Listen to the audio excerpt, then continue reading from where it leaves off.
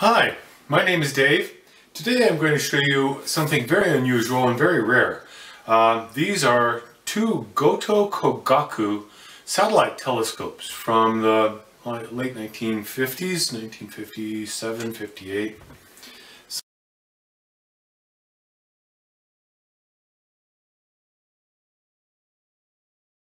Uh, extremely rare.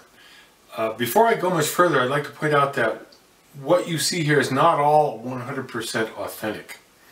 Uh, here are a couple of side-by-side -side pictures of the originals, or at least the ads for the originals, and these scopes that you see here.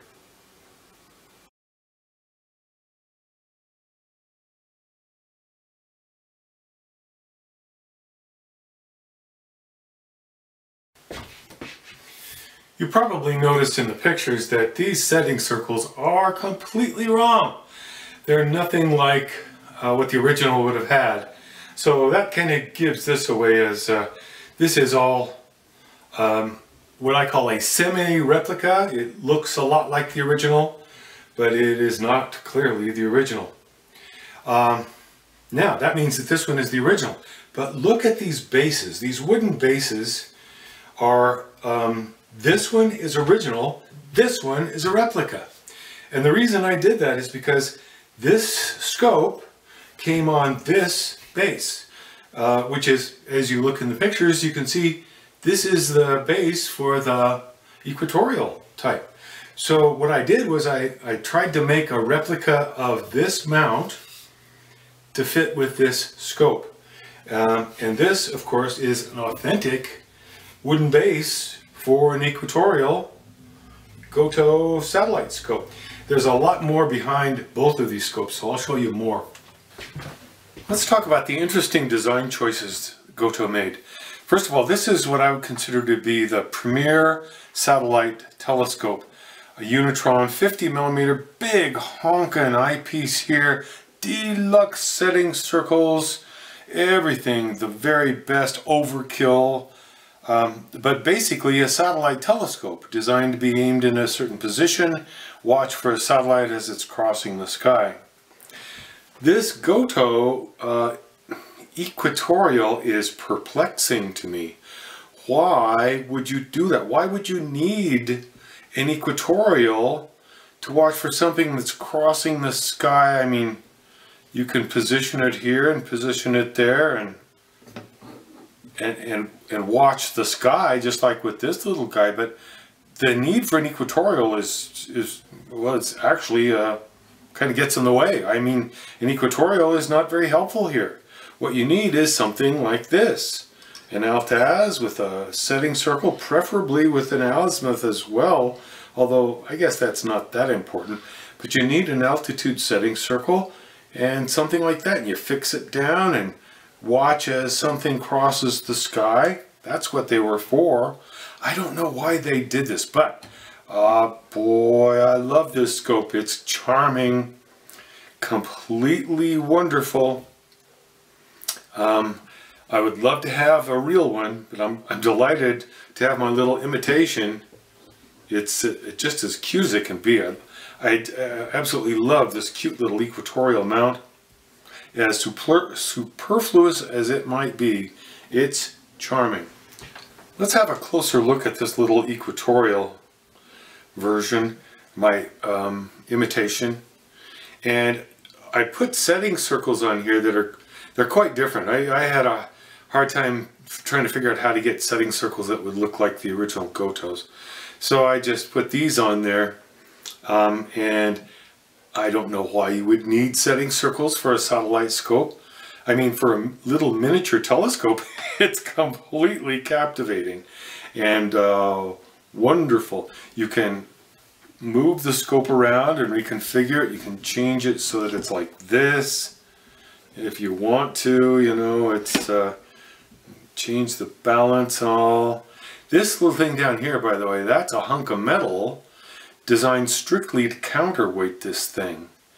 Um, there's a great big beautiful eyepiece on here and mine is, my imitation is not as good as the original I'm sure but it works pretty well. The original objective in this scope would have been a 44 millimeter f2.8. It was a triplet, can you believe? A little triplet lens um, package in there at f2.8, semi-apochromat according to their specifications. What a piece of optics that must have been. My imitation is a, uh, it's a projector lens.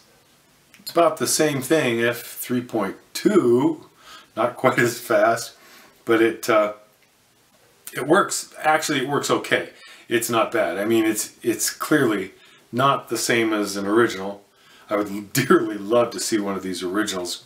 The big eyepiece on there was also quite spectacular on the original. So I'd love to see one of those. Uh, mine works and it's uh, cute, but it's an imitation. It's not the real thing, that's for sure. Let me show you what this looks like at some different positions here. Move it around, you can see what that's like. Looks a little different there.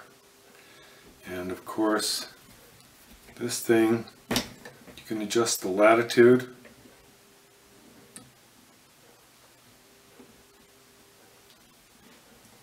That's too high.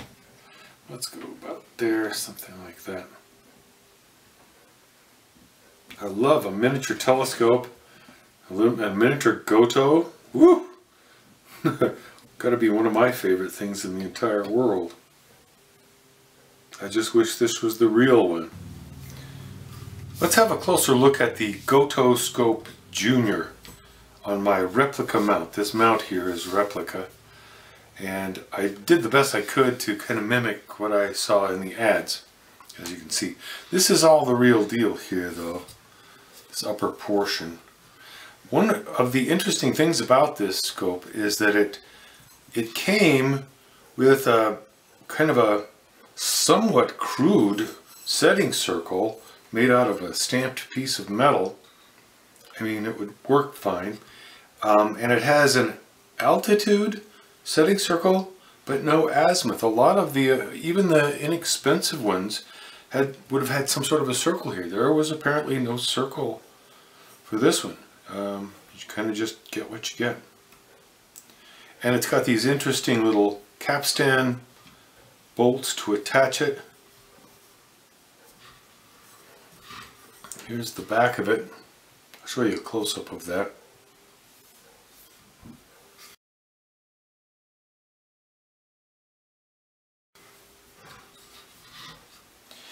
Let me show you how you reconfigure this. You can configure this, these two screws, these two uh, bolts come out here and you can reconfigure it in a, a more upright kind of a normal, what I would call normal configuration.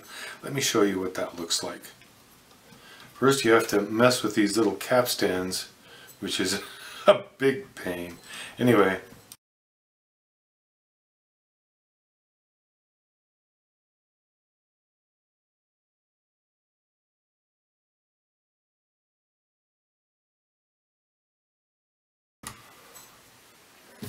There you have it, a simple operation of about 20 minutes and you've got this reconfigured. Didn't really take 20 minutes, it took about 5 minutes, but what a pain. Mostly because of these little uh, capstan things. I have no idea why Goto decided to do that. Maybe it was for balance because this thing, although it's balanced perfectly here, it's got a nice big chunk of metal back here to balance this. It's balanced very nicely, but when you have this tilted back like that, see how it wants to tilt a little bit? Because of the weight of the eyepiece. So, I, I don't know. Having it configured in that other way is really very strange, very unusual. I'd like to know what was going through the mind of those folks when they designed it that way. Let me dismantle this scope and show you what it looks like. First of all, let's start with the eyepiece. Uh, the eyepiece focuses like so. This can be used to orient the eyepiece, of course, but it also just uh, unscrews to remove it.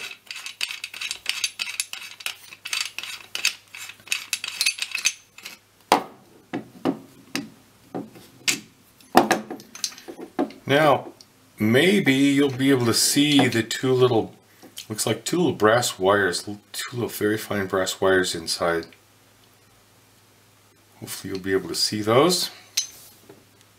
If we look inside here, I think you should be able to see the mirror inside there. It's a rectangular mirror and its coatings are no longer perfect, of course, but not bad considering considering this thing is uh, 60 years old or so. Uh, let's remove the back end of this.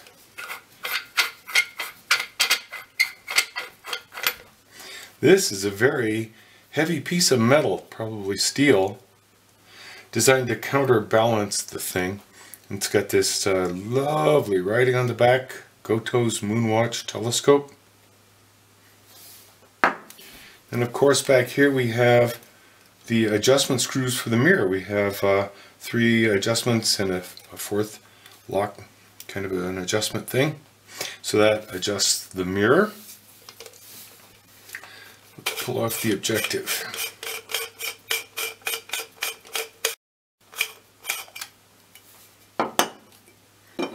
There we have the objective. I'll show you a close-up to show you the positions of the spacers. Let me see if I can show you the spacers on this thing. I'll try and hold this in the right way so that you'd be able to see it. Uh, hopefully you can see that there's one spacer right about over here. And then you'll notice, hopefully, that there are two spacers in fairly normal positions over there and over here. And then there's an interloper, a little weird one over here. What the heck is that about? Answer is, I don't know. It does appear to be original. It looks like this has not been tampered with. So I think that's original, and I have no idea why they did that. I hope you've enjoyed having a look at these two very interesting Goto Kogaku satellite telescopes from the late 1950s. Thank you for watching.